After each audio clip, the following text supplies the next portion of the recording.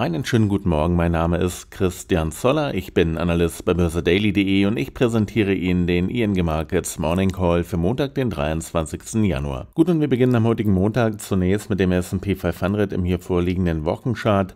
Wir konnten in der Vorwoche hier am 10er EMA am Wochenchart bei 3920 Punkten ungefähr nach oben abprallen und dann hier erneut Kurs nehmen auf die obere Trendkanalbegrenzung des langfristig fallenden Trendkanals sowie auf den 50er EMA im Wochenchart bei aktuell 4010 Punkten ungefähr. Wir werden sehen, ob wir hier einen nachhaltigen Durchbruch vollziehen können und aus dem Trendkanal nach oben ausbrechen können, sowie dann den 50er EMA nach oben durchbrechen können. In diesem Fall würde ein Long-Signal entstehen, ein neues Ausbruchssignal entstehen. In den Vormonaten ist es hier seit dem Verlaufshoch bei 4.818 Punkten dem S&P 500 nicht gelungen, hier aus dem fallenden Trendkanal nachhaltig nach oben auszubrechen. Möglicherweise werden wir also hier erneut im Bereich um den 50er EMA und die obere Trendkanalbegrenzung nach unten abdrehen und dann erneut Kurs nehmen auf den 10er EMA im Wochenchart. Kommt es hier zu einem nachhaltigen Durchbruch nach unten unter den 10er EMA, unter diese hellblaue Linie,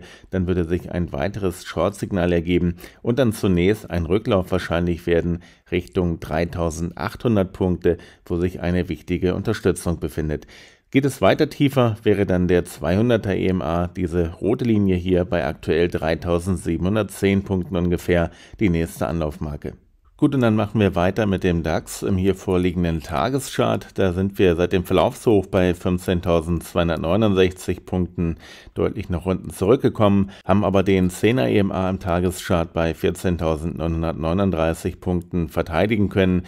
Wir sind hier am Donnerstag und Freitag jeweils wieder nach oben abgeprallt, direkt am 10er EMA und am Freitag dann mit einer kleinen bullischen Tageskerze aus dem Handel gegangen und könnten nun vor einem weiteren Hochlauf stehen, nachdem wir nun am Freitag bei 15.033 Punkten aus dem Handel gegangen waren. Am heutigen Montag notieren wir im vorbörslichen Handel im DAX im Bereich von 15.100 Punkten wieder etwas höher und könnten damit zunächst eine weitere Erholung starten. Sollte es zu einem erneuten Hochlauf kommen, dann könnte ein erneuter Anstieg hier zunächst zum offenen Gap erfolgen und darüber dann zur oberen Trendkanalbegrenzung. Wir werden sehen, ob wir hier nach oben ausbrechen können. Möglicherweise steigen wir auch nur kurz an und drehen dann wieder nach unten ab, um dann den 10er EMA endgültig nach unten zu durchbrechen und dann letztendlich Kurs zu nehmen auf den Bereich von 14.700 Punkten ungefähr, wo sich im Monatschart noch der Fibonacci-Faker ungefähr befindet, sowie darunter dann auf die ehemalige Wiederholung Widerstandslinie hier um 14.600 Punkte,